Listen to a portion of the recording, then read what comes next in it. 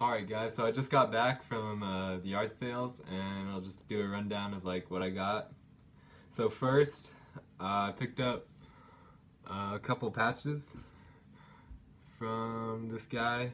He had um, some other uniforms and stuff, but I didn't get them. They weren't patched or anything. But this is probably the coolest thing I got from him. It's a helmet cover. It's got the infrared uh, vel Velcro uh, tabs on them, so you can remove them, put them back on.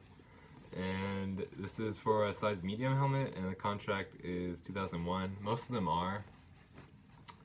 So I'm not sure if this one would have gone on the older Kevlar helmet or like the newer ACH ones. Um, I think within this time frame it could have gone on both. But yeah, this cover's in pretty good condition. It's a little faded on top and torn, but yeah, that was cool. I got picked them up for five bucks for all of them. I think that's pretty fair. And then uh, next, uh, we didn't really find much, but at this one yard sale, they had this hanging up. I've never seen anything uh, like this before. I've seen the army like issue uh, like the MOLLE vest, you know, like the load carrier type thing. And this one's very similar to it, but it's actually like a survival vest. Uh, CMU 33 slash P22P18 and the contract date is 01 so it's obviously like global war on terror Iraq Afghanistan newer issue. Yeah and it's in like unused shape except for there's little hole in the pocket flap and inside this pocket it's also got the contract number and it says air crewman survival general pocket. So yeah it looks like these pouches you can remove and put them anywhere you want, just like the MOLLE stuff. So it came with uh, these three, just general, or four actually, four general small ones, and then this one big one with a double snap on the lower part. Yeah, this is, uh, I have to do some research on this, and I'll probably find some pictures and, you know, might add like some additional pouches to this. Uh, I'm pretty sure this is for like a knife or a, some sort of tool, some sort of cover on the shoulder. Uh, I'm not really sure though. Yeah, uh, apparently he was retiring or something, but this is all he had, so that's pretty cool. And then next, we went to uh, down the street a little bit. Uh, there's this guy, he had a whole bunch of, like, a lot of, like, five tactical tailor pouches. And he wanted 25 for the lot, but I didn't really want to pay that much. So I just picked up, I offered him five for this admin pouch. It's pretty used. Uh, you can see Tactical Tailor. It's got the malice clips. And it's actually like really worn. That like this back kind of part uh, for both of them is actually like stuck in place, you know. It's like folded out. So I thought that was pretty cool. Uh, yeah, it's got the Velcro so you can put patches on it. And then uh, picked up this other Tactical Tailor radio pouch. He had another one, but he wanted to keep that one because he took it to Iraq with him. And I understand that. Um, yeah, this one also has the malice clips on it.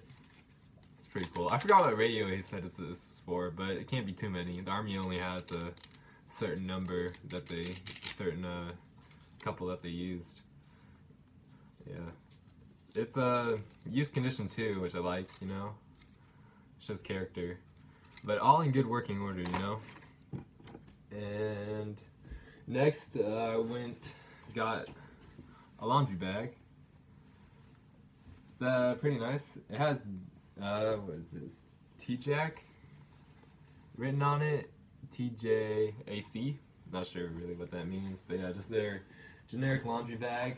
And I was looking for a duffel bag because I only have one, but I uh, now that I have two, I can put uh, gear in one and clothes in the other. Yeah, that's pretty cool. It's got some neat like stenciling on the bottom. It's kind of cool. Don't know what it means. But yeah, this is like really good condition. Just the straps are kind of faded. But yeah, it's just your generic, you know, government issue uh, duffel bag. And then uh, went to nearby park and this guy had like bins of his army stuff. I actually bought uh, some patches from him last year, but this time I got a just a you know uh, issued mag pouch, and I was able to pick up his beret. So this is the 296th uh, Sustainment Battalion, I believe. It's attached to the 2nd Infantry Division, uh, 1st Stryker Brigade. So I thought that was pretty cool. I have uh, another beret, but it's just the generic uh, 2nd Infantry Division uh, pin on it.